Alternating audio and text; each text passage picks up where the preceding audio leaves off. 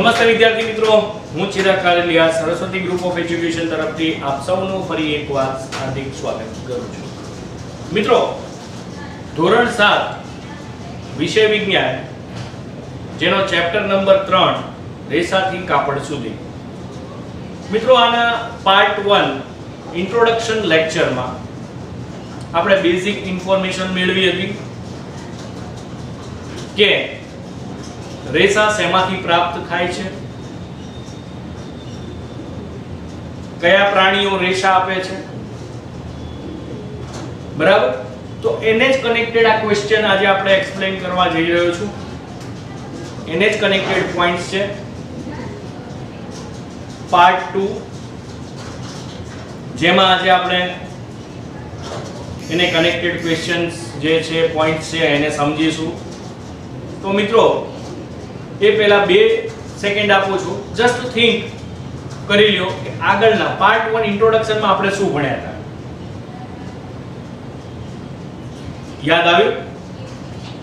Yes તો આપણે, મેં હમણાં જ તમને કીધું, છતાં પણ મેં તમને ક્વેશ્ચન કર્યો કે તમારું ફોકસ છે કે નહીં. ઓકે તો આપણે આગળના સેશનમાં રેસાઓ અને કાપડ કે કેવી રીતે બને છે? તો એના મેં પ્રકારો તમને કીધા હતા. કયા કયા પ્રકારો હતા? રૂ, ઊન, ક્ષણ અને રેશમ. રૂ શેમાંથી પ્રાપ્ત થાય છે મિત્રો? પાર્ટ 1 માં આ બધું જ આપણે ભણી ગયા છીએ. એકવાર એને રીકેપ કરી લઈએ. રૂ પ્રાપ્ત થાય છે કપાસમાંથી. કપાસના છોડવામાં. જ્યારે પરિપક્વ થાય, ત્યારે એમાં ફૂલ બેસે છે. એ ફૂલ સુકાય, એ ઝીંડવા એને કહેવાય. એ ઝીંડવા સુકાય એટલે એમાંથી રૂ છે એ અલગ કરવામાં આવે છે, ચૂંટીને. અને એમાંથી રેસા બનાવવામાં આવે છે. અને એ રેસામાંથી કાપડ બને છે. બરાબર મિત્રો? એ રેસામાંથી કાપડ બને છે. એ રેસાના તાતણા બનાવે અને એ તાતણામાંથી કાપડ બનાવે. તો મિત્રો, એ કાપડ કેવી રીતે બને ને? એ તાતણામાંથી. એની આપણે એક એક્ટિવિટી કરીશું. જે તમે જોઈ શકો છો. છઠ્ઠા ધોરણમાં પણ કરી હતી. બરાબર? તો બે સેકન્ડ આપું. તમે એક્ટિવિટી શરૂ કરીએ. One two and three, start. મિત્રો, આપણે એક્ટિવિટી કરવાની છે વણાટ જે કે તાતણાથી આપણે ઊભા લાઈન અને આડા લાઈન ગોઠવીને આપણે કેવી રીતે આખું કાપડ બને છે, તેના વિશેની એક્ટિવિટી લેવાની છે, કરવાની છે. તો બે ચોરસ કાગળ અલગ અલગ કલરના લઈને આ પ્રમાણેની તમારે પટ્ટીઓ એમાંથી કાપવાની રહેશે. બરાબર? જો મેં પિંક અને બ્લુ બે કલરના ચોરસ કાપડ ટુકડા લીધા છે કાગળના અને એમાંથી આવી રીતે પટ્ટીઓ મેં કાપીને અલગ અલગ કરી છે. બરાબર મિત્રો? વિદ્યાર્થી મિત્રો, પટ્ટીઓને આપણે ચોરસ કાગળમાંથી કાપીને આ રીતે એક કલરની પટ્ટીને આપણે આ રીતે ગોઠવીશું. બરાબર? ત્યારબાદ આપણે જે બીજા રંગની પટ્ટી છે, એટલે કે બ્લુ રંગની પટ્ટી, એ આપણે શું કરીશું? તો કે એક પટ્ટી છોડીને એક પટ્ટીમાંથી આપણે પાસ કરીશું આ રીતે.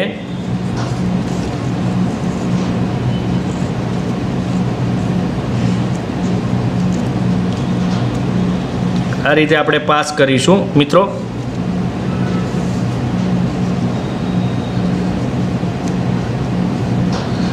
થોડી પટ્ટીઓ હલશે, પણ તમારે ચિંતા કરવાની નથી. ફરીથી આપણે એને ગોઠવી દેવાની એના સ્થાન પર. રાઈટ અને આ રીતે દબાવી રાખવાનું અને પટ્ટીને આગળ જવા દઈશું.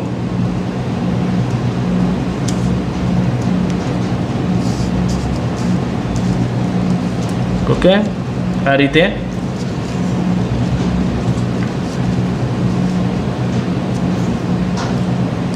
જો વિદ્યાર્થી મિત્રો, એક પટ્ટી આપણે પાસ કરી, બરાબર?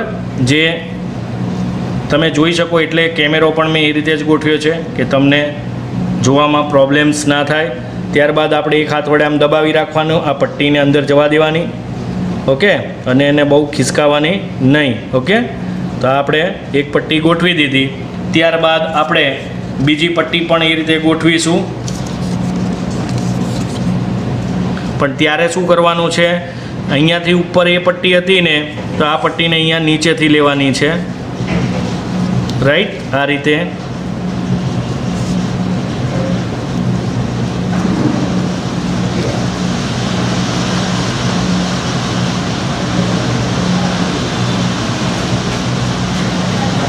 આ રીતે આપણે લઈશું.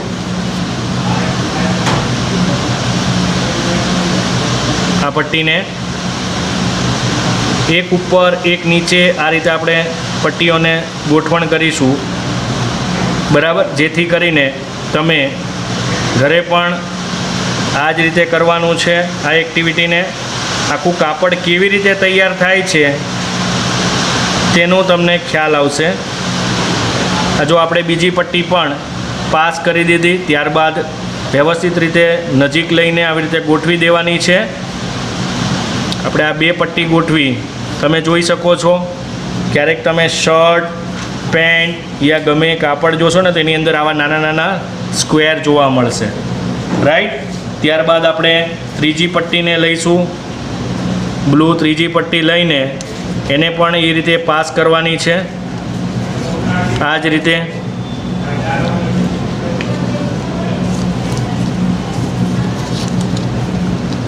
વચ્ચે થોડું આડાવડું થશે પણ ગભરાવાની જરૂર નથી. ત્યારબાદ આપણે એને સરખું કરી શકીશું. ઓકે તો પહેલી પટ્ટી અને બીજી પટ્ટી જ વ્યવસ્થિત રીતે નાખવાની ત્યારબાદની પટ્ટીઓ છે એ ફટાફટ તમારે સેટ થઈ જશે.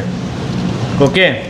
તો કાપડની જે રચના છે એ આ રીતે થતી હોય છે.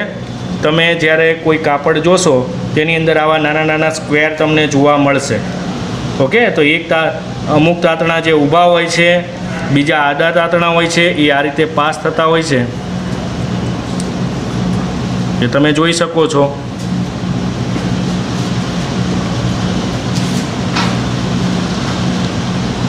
આ રીતે નજીક લઈ લેવાની. ઓકે, જેથી કરીને આખું પકડાઈ જાય. Right okay. હવે ચોથી આપણે લઈશું પટ્ટી. ચોથી પટ્ટી ક્યાં આવશે? ઉપર કે નીચે? યસ, નીચેથી પાસ થશે. રાઈટ આ રીતે આપણે હવે આ પટ્ટીને આવી રીતે કરીને આપણે પાસ કરવાની રહેશે.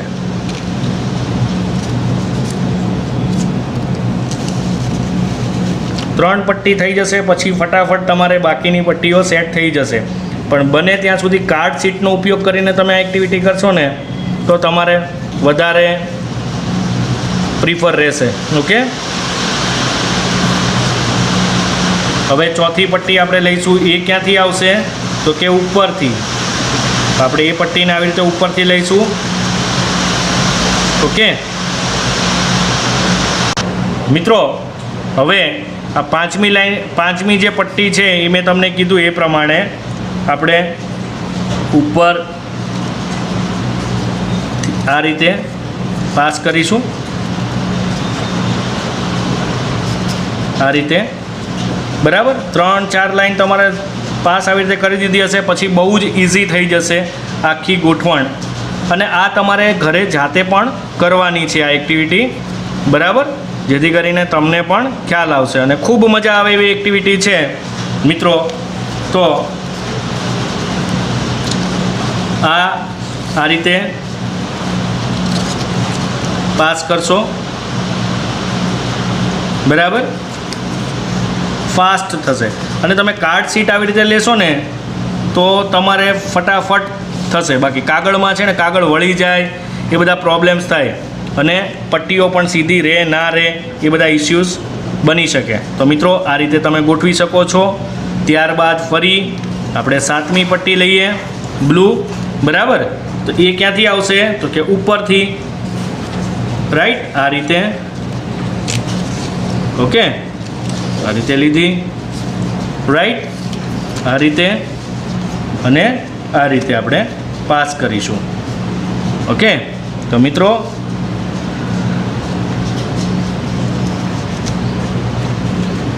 ત્યારબાદ આ રીતે આપણે ફિક્સ કરી દઈશું. રાઈટ પટ્ટીઓને સરખી સાથે સાથે કરતા જવાનું, જેથી કરીને તમારું આખું જે વર્ક છે એ બહુ જ વ્યવસ્થિત અને તમને ખ્યાલ આવશે કે કાપડમાં ઊભા જે તાતણા છે, આડા તાતણા છે, એ કેવી રીતે ગોઠવાયેલા હોય, એનો તમને બેઝિક ખ્યાલ આવી જશે. ઓકે? તો આ રીતે આપણે રાઈટ આ ગોઠવાઈ જશે. સાથે સાથે ઊભા જે પટ્ટીઓ છે એને પણ પ્રોપર વેમાં ગોઠવીશું. ઓકે આખું આપણું વર્ક જે થઈ રહ્યું છે, તમે જોઈ શકો છો.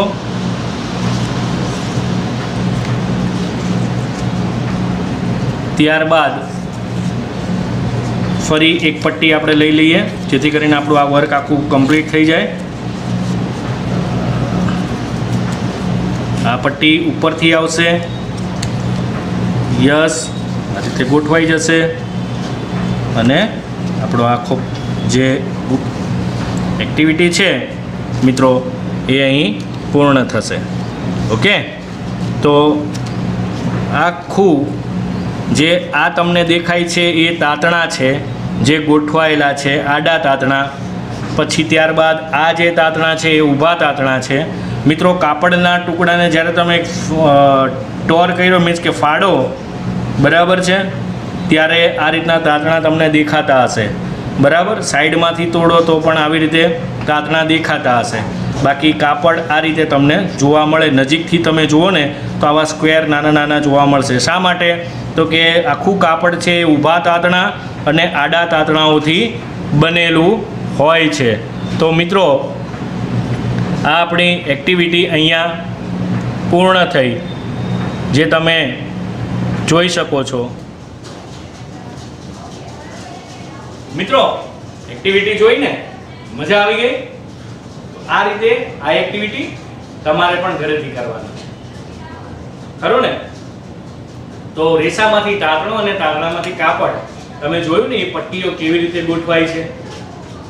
બરાબર?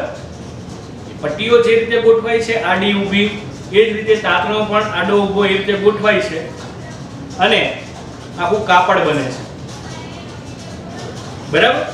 તો એ રૂન પછી આપણે શું જોયું હતું? તો કે ઊન. ઊન શેમાંથી મળે છે? એના વિશે પણ આપણે ચર્ચા કરીએ છીએ. રીકેપ કરીશું. શણ તો કે શણના છોડમાંથી. એ શણ કેવી રીતે મળે છે? એની પણ આપણે ચર્ચા કરી હતી કે શણને કેવી રીતે સુકવવામાં આવે છે. બરાબર છે? એના છોડને. બરાબર? અને ત્યારબાદ કેવી રીતે એમાંથી રેસા બનાવીને એનો ઉપયોગ કરવામાં આવે છે. ત્યારબાદ રેશમ, તો કે રેશમ, રેશમના કીડામાંથી, એના પોષેટો એમાંથી પ્રાપ્ત કરવામાં આવે છે. મિત્રો, આજે એવી જ કંઈક બેઝિક વાતો ફરીથી આપણે વાગોળી લઈએ. બરાબર? જેથી કરીને તમને ખ્યાલ આવે. વાગોળવું. આ શબ્દ ક્યાંક સાંભળ્યો છે? યસ આપણું બીજું ચેપ્ટર હતું. Nutrition in animals. એમાં મેં તમને વાત કરી હતી કે વાગોળવો શબ્દ. બરાબર છે? મેં તમને કહ્યું હતું કે પ્રાણીઓ છે એ શું કરતા હોય છે? તો કે પોતાનો ખોરાક છે એ અંદર લઈ જાય, પછી એને પાછો ધીમે કરીને બહાર લાવે અને એમના માઉથમાં એટલે કે મોઢામાં એને પાછું ચબાવવાનું શરૂ કરે. એને વાગોળવું કહેવાય.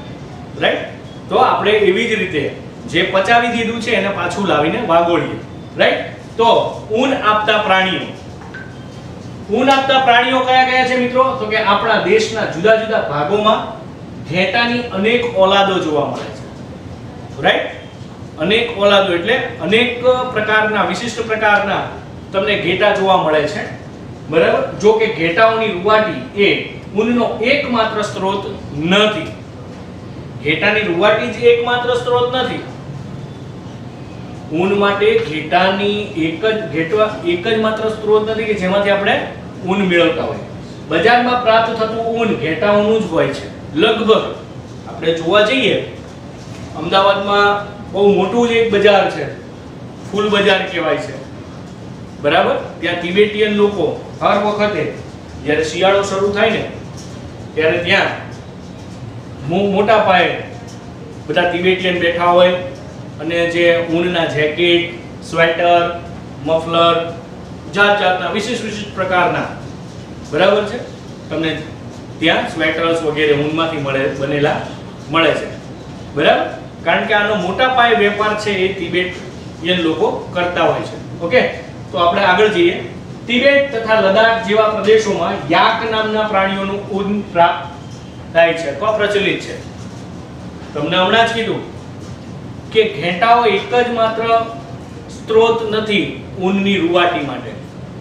પણ જો અહીંયા લખ્યું કે તિબેટ તથા લદ્દાખ જેવા પ્રદેશોમાં યાક નામના પ્રાણીઓનું ઊન પ્રચલિત થાય છે. રાઈટ ત્યારબાદ આપણને વાત કરી હતી આગળના લેક્ચરમાં કે અંગોરા ઊન એ અંગોરા બકરીમાંથી મેળવવામાં આવે છે, જે પહાડી પ્રદેશમાં જોવા મળે છે. પહાડી પ્રદેશમાં જોવા મળે છે અંગોરા નામની બકરી. બરાબર? તો મિત્રો તમને ખ્યાલ આવી ગયો હશે કે ઊન આપતા પ્રાણીઓ કયા કયા છે? કયા ઊન પ્રચલિત છે? તો યાક છે, એ યાક કયા પ્રદેશનું પ્રાણી છે?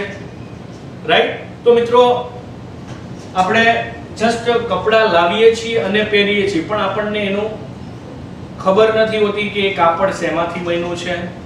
એ કેવી રીતે પ્રાપ્ત થાય છે? તો આપણે આની ઝીણવટપૂર્વક અભ્યાસ કરીને માહિતી મેળવીશું.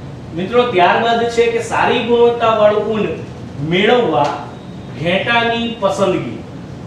કે સારી ગુણવત્તાવાળું ઊન મેળવવું હોય, તો એ ઘેટાની પસંદગી કેવી રીતે કરવામાં આવે છે? તો કે ઘેટાની કેટલીક જાતિ ફક્ત પાતળા સુવાળા વાળ ધરાવે છે. બરાબર? ઘેટાની કેટલીક જાતિ એવી હોય ને ખાલી પાતળા સુવાળા વાળ ધરાવતા હોય. એમનામાં સુવાળા વાળ હોય, પણ કે ખાસ કરીને આવી જાતિના ઘેટાઓને એટલા માટે પસંદ કરવામાં આવે છે કે જેઓ માત્ર સુવાળા વાળ ધરાવતા બચ્ચાને જન્મ આપે છે. બરાબર છે? ખાસ કરીને આવી જાતિના ઘેટાઓને એટલા માટે પસંદ કરવામાં આવે છે, કારણ કે શું કરે છે? સુવાળા વાળ ધરાવતા બચ્ચાઓને જન્મ આપે. એટલે એવા ઘેટાઓને પણ પસંદ કરવામાં આવે છે. એટલે એમના જે ઓલાદો છે, એમના જે બચ્ચા છે, એ પણ સુવાળા વાળ ધરાવતા હોય છે. સમજાયું મિત્રો? ઓકે હવે સુવાળા વાળ ધરાવતા ઘેટાઓ ઉત્પન્ન કરવા માટે પિતૃ પસંદગી આ શબ્દ પણ તમને યાદ તો મેં આગળના લેક્ચરમાં ઉપયોગ કર્યો હતો. પિતૃ પસંદગી આ પ્રક્રિયાને પસંદગી લક્ષી પ્રજનન કહે છે. બરાબર? જેને પસંદ કરાવવામાં આવ્યું હોય. રાઈટ હવે મિત્રો, ફરી એકવાર રિકેપ કે તિબેટ અને લદ્દાખ જેવા પ્રદેશોમાં કયું પ્રાણી જોવા મળે છે? જે આપણને ઊન પ્રાપ્ત, જેમાંથી આપણને ઊન પ્રાપ્ત થાય છે. વિચારો તો. Yes, yak. ઓકે? તો યાક જે છે એ તિબેટ અને લદાખ પ્રદેશોમાંથી, બરાબર? યાક નામના પ્રાણીઓનું આપણને ઊન પ્રચલિત છે. રાઈટ તો મિત્રો, અત્યારે આપણે આ બે પોઈન્ટ સમજ્યા. રાઈટ જે તમે એનું કંઠસ્થ કરી શકો છો. હું બે સેકન્ડ આપું છું.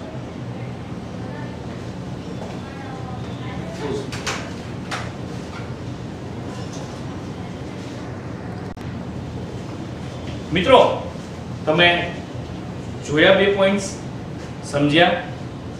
મિત્રો, આજે આ લેક્ચરના અંતે પીડીએફ હશે, પણ એ પીડીએફમાં ફક્ત ને ફક્ત એક્ટિવિટી કરવાની છે, એ હશે. તો એ એક્ટિવિટી કઈ કરવાની છે? જે તમે વિડીયોમાં જોઈ. બરાબર? એ એક્ટિવિટી તમારે ઘરે કરવાની છે ને એડવાઇઝરીમાં એ તમારે બતાવવાનું છે. ઓકે મિત્રો?